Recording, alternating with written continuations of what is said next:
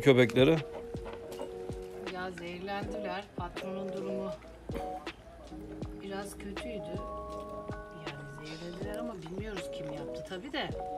Bunun durumu biraz ağırdı. Bu yine atlatıyor ama. Bu az yemiş ama herhalde bu getirdi zehri. Değil mi oğlum? Yani bu başlarına kötü bir olay geldi. Ee, Olga'nın da durumu iyi. Şu anda yemeklerini yediler. Az porsiyon veriyoruz tabi. Şimdi yoğurtunu yiyorlar. Hadi yoğurt.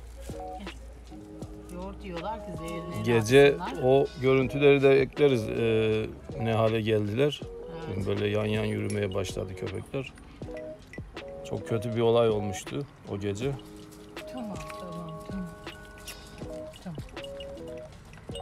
Muhammed abisiyle beraber gittik araştırdık yukarıda. Ee, bilmiyorum ne yedi anlamadık biz de. Bu sanırım fare zehri poşetini çekti. Uyanık patron da daha çok yediği için o hastalandı. Büyük bir ihtimal fare zehri yediler yani. Tamam. Sen de git yoğurtunu hadi. Yoğurtunu ye hadi. Kusabildiler yoksa kusamasaydılar durum iyi olmazdı yani. Patronun ishali devam ediyor ama. İshali devam ediyor onun. Ama düzelecek. Bağırma oğlum. Tamam tamam. O çok kıskanıyor bunu. Tamam. O onu kıskanıyor şu anda. Tamam tamam seni seviyorum. Tamam.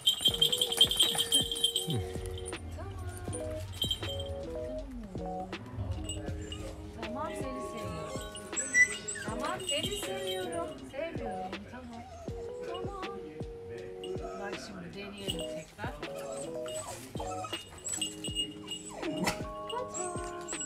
Yok yok. yok.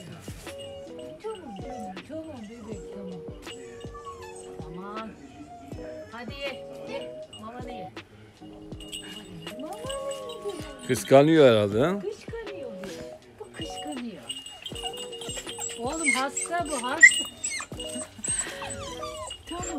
E hasta da abi o abi abi abi. Ne oldu patron? Hasta oğlum o hasta. Ne oldu? Bu kadar kıskanmak olur mu? Ya bir şey diyeyim mi sana hasta olduğu için fırsat buldu. Normalde bu seni kapar yani o durumda. Sen niye oğlum yoğurtunu yemiyorsun? Gel ye. Zehri en az sen yemişsin herhalde belli Aynen, yani. Seni aynen. yedirmemişler zehri. Aynen bak yemiyor gördün mü? İkisinin maması bitti. İkisinin maması bitti halen daha bu yiyecek. Heh, tamam şimdi su vereceğiz size. Yemek işiniz kapanmıştır.